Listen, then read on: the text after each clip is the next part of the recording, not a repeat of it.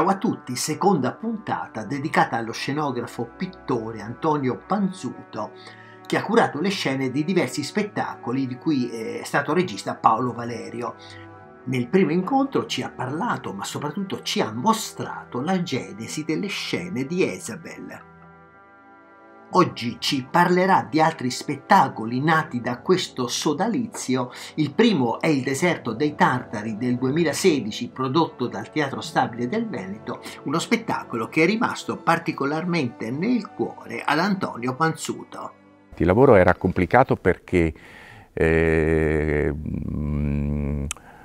ricostruire su un palcoscenico una fortezza come quella della fortezza Bastiani era veramente una sfida e in più questo doppio incrocio con le immagini di eh, Buzzati aveva un altro sviluppo e un altro valore. Quindi eh, il pensiero era questo. Eh, noi non siamo all'interno della fortezza, ma siamo come, come, se fossimo sul tetto, come se avessimo raggiunto l'ultimo piano di questa fortezza e quindi i eh, soldati e tutto lo sviluppo della scena avveniva in, eh, in questo luogo che poi non, non, era così chiaro e definito. Perché? Perché mh, da un lato mh, a me interessava che lo spazio non fosse così preciso e definito, ma avesse una grande eh, capacità di dissolversi, come la nebbia di cui parla Buzzati, come le immagini, come le idee, in fondo, come Shakespeare dice, siamo fatti della stessa sostanza dei sogni. Quindi lo sviluppo della scena era eh, queste, questi percorsi eh, costretti dei soldati perché appunto vivono in uno spazio piccolo, eh, rinchiusi in questa fortezza, ma in fondo il loro grande desiderio era quello di uscire e di tirare fuori eh, e di guardare oltre Ecco, questo, questa è una cosa che mi aveva colpito moltissimo di, del testo di, di, Buzzati, il fatto che loro continuassero a guardare col cannocchiale, di guardare quello che succedeva e questo illudersi di questa attesa del nemico che stava per arrivare, questo desiderio che in fondo è il desiderio umano di, della vita, della, della, della complessità della vita. Quindi, insomma, diciamo, il, il, il, grande pensiero che abbiamo fatto sulla scena era questo, non siamo chiusi dentro, ma siamo su uno spazio che ci, ci costringe a stare fermi, ma ci permette di guardare oltre diciamo, questa trasformazione dello spazio attraverso le immagini di, di Buzzati ha questo percorso. Eh, quando di, eh, arrivano delle, delle, scene importanti come gli incontri eh, tra i, i soldati, l'arrivo del nemico, queste situazioni qui vengono risolte anche con queste immagini bellissime di Buzzati e vengono proiettate sui corpi degli attori. Anche questo è un altro risultato che come dire, viene fuori da tutto il lavoro collettivo che abbiamo fatto io e Paolo.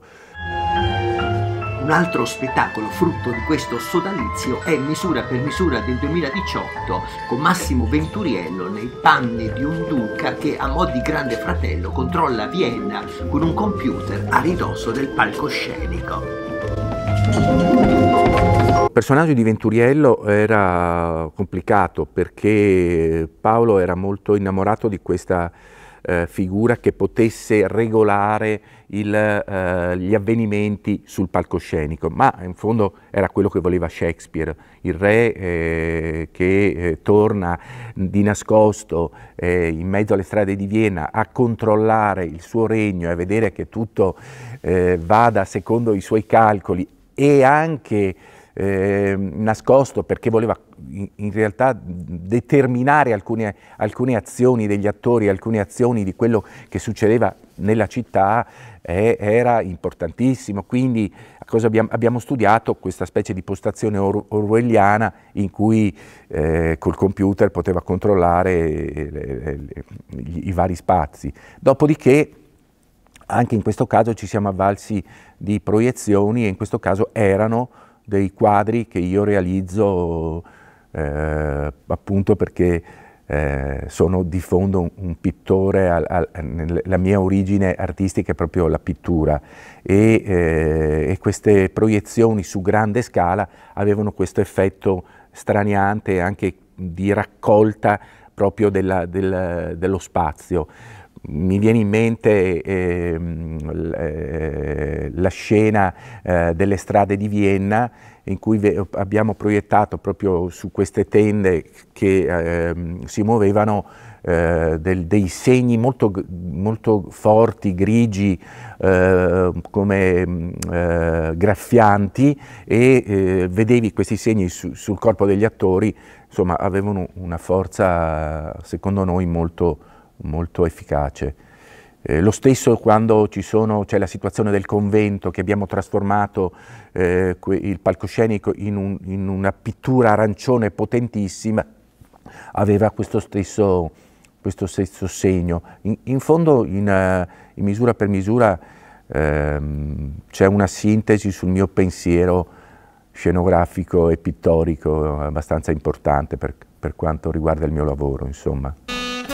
Un altro spettacolo del sodalizio con Valerio è Le ho mai raccontato del vento del nord, protagonisti Chiara Caselli e lo stesso Valerio. Vento del nord, eh, eh, anche lì che lavoro infinito. I due protagonisti si scrivono a distanza delle lettere e non si vedono e dovevamo ricreare sul palcoscenico questa situazione, sono sempre, di, non dico di spalle gli attori, però c'è un muro tra di loro che li divide. Ecco, e questa è stata la prima, la prima cosa, però dove, il pubblico deve vederli. Io ho visto anche altre messe in scena che avevano fatto altri scenografi, soprattutto in Austria, dove appunto eh, questo testo più, eh, era stato molto più letto e più eh, ricostruito sul palcoscenico. Quindi questo era un elemento, diciamo, dato dal testo, questo fatto della distanza. Abbiamo ricreato i due appartamenti, quello di lui un po' più serio, con delle finestre che dessero un po' la sensazione di essere all'ultimo piano della casa, quindi con delle, dei segni un po' più complessi della sua stanza, proprio di costruzione, come se fosse un set cinematografico in fondo. E la stanza di lei più ovviamente femminile e, e, con una finestra dalla quale lei poteva veramente, come dire, eh, che, che, la finestra potesse diventare quasi uno spazio. Infatti abbiamo costruito la finestra come, con una, una um, soluzione eh, di, um, come se ci fosse un divano legato alla finestra. Era strana questa cosa, però poi è diventata per l'attrice un'isola dove, dove potersi raccogliere. Era un, un, un luogo quasi cinematografico, la scenografia del Vento del Nord. E sempre da questo sodalizio è nato il recente Il muro trasparente che come Jezabel ha vinto dei premi per le scene.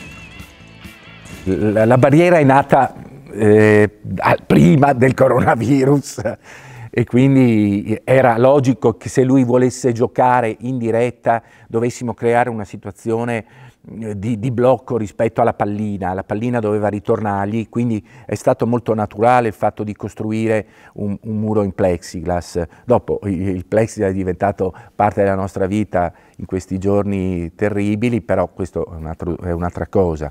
Ma in contemporanea avevamo bisogno anche che il pubblico vedesse la situazione della, della, della, di che cosa vuol dire giocare a tennis. Io sono andato a vedere spesso Paolo giocare nei campi e quindi avevo, mi ero fatto un po' questa, questa storia. In realtà quando tu guardi uno giocatore di tennis hai anche di fronte l'altro pubblico ed è importante anche se vedi le partite di tennis in televisione. Questa cosa mi ha un po' intrigato e allora che cosa volevo ricostruire? Da un lato il fatto che lui potesse giocare continuamente e dall'altro che il pubblico avesse negli occhi un campo, la folla e, e, e, e questa situazione qui.